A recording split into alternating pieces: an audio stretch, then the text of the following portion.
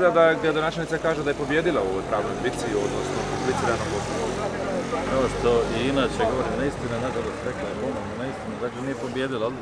Odgođena je ovrha iz razloga što vještak nije mogao identificirati na licu mjesta površine ovih objekata koji su predmet ovrhe. Dakle, ona je odgođena dogodit će se u skoro vrijeme i nema razloga da to tako može biti. Koji su vam dalji sudski lijekovi, što dalje namjeravate Pa nema napraviti? uopće nikakvih sudskih lijekova, dakle treba napraviti u ovom postupku nekako vještačenje koje će pokazati upravo ono što piše u presudi i to je to. Dakle, što se ovog tiče, nije potrebno nikakve sudske lijekove. A kako niste sada pres- e, e, dostavili sve relevantne dokumente? Po meni smo dostavili sve relevantne dokumente, a vještak zašto je tako procijenio i rekao, to je njegova stvar. Ja u to neću ulaziti. Ja nisam vještak, ja sam odvjetnik. Zašto vi baš sada želite te prostore? Zato što je svaki vlasnik želi svoj prostor koji je njegov vlasništvo još od 2005. godine. Mislim da je to pitanje malo ne znam što bi vam odgovorio na to, zašto vlasnik želi nešto svoje. Dobro, oni kažu da su određena rješenja poništavane. Presude su sasvim jasne. Svi ih imate, ako treba, ja ću vam ih ponovno svima dostaviti na uvid. Dakle, sasvim je jasno da je ovo vlasništvo Supetrus hotela i nikoga drugoga. Svi rokovi za bilo kakve druge radnje su prošli. Dakle, nemamo više o čemu pričati.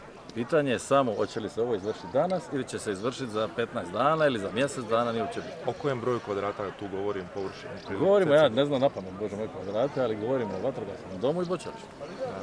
Presude imate, piše Dobro, kvadrate. dobro, dobro, jasno, jasno, sve. Dakle, sve je jasno, eto, vještak je rekao što je rekao. Koja je poruka vlasnika Supetrus hotela koju oni najčešće prozivaju? Što želi? vlasnika Subetovskog hotela je da se dogovorimo i odavno on to pokušava, odavno on to... A zašto nema dogovora od strane? A ja ne znam, ja iskreno ne znam. Ja iskreno ne znam zašto, zašto je toliki problem dogovoriti se s vlasnikom, pa i o najmu, o zakupu, o bilo čemu. Zašto je to toliki problem, ja ne znam. Recite morate mi, ponovno je, ponovno je srušena ova sporna ograda. Što dalje? Rekli, kad smo zadnji put pričali, rekli ste spremni ste i za neke nove, još Ja oštrije korake. ja Što sam- sada, pogotovo i sad kada se nastavimo i na ovu presudu? Ovo nije presuda. E, pardon, Ovo je ispričavam se, samo odgoda odgoda. Ovo je Ispričavam se. samo odgoda nečega što se događa. Dakle, ovrha nije završena, ona, ona se događa i dalje. Okej. Ovaj, e, a što se tiče vrata, ja sam poduzeo što sam trebao poduzeti. Dakle, ja sam podnio prijave protiv osoba za koje smatram da trebam, podnio tužbe sudovima i to je to. okej. Dakle, Supetus hoteli uvijek i isključivo inzistiraju da sve bude zasnovano na sudskim.